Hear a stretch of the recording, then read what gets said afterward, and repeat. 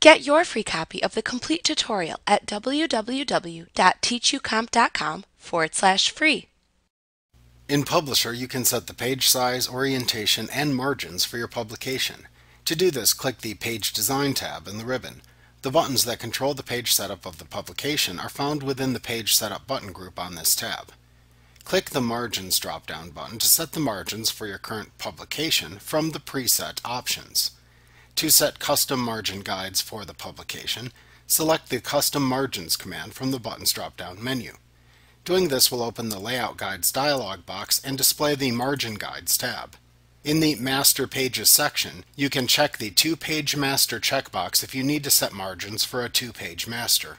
In the Margin Guides area, enter the custom margins into the left, right, top, and bottom spinner boxes. When you are finished, click the OK button to apply the custom margins to your publication. The margins appear within your publication as the blue lines that surround the page. When designing your publication, ensure that you do not place any content you want to print into the designated margin area. To switch the page orientation from portrait to landscape and vice versa, click the Orientation drop-down button in the Page Setup button group on the Page Design tab. Then choose the type of page orientation to apply.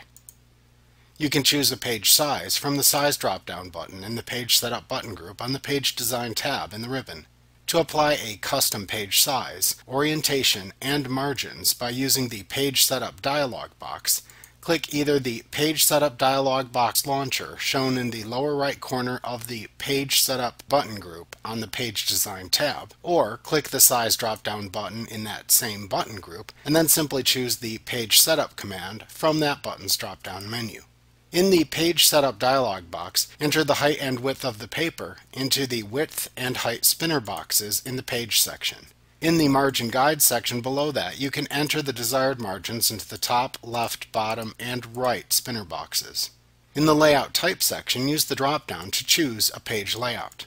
For the selected layout type, you can enter any additional settings in the Options section. When finished, you can then click the OK button to apply all of your settings to the publication. Like what you see? Pick up your free copy of the complete tutorial at www.teachucomp.com forward slash free.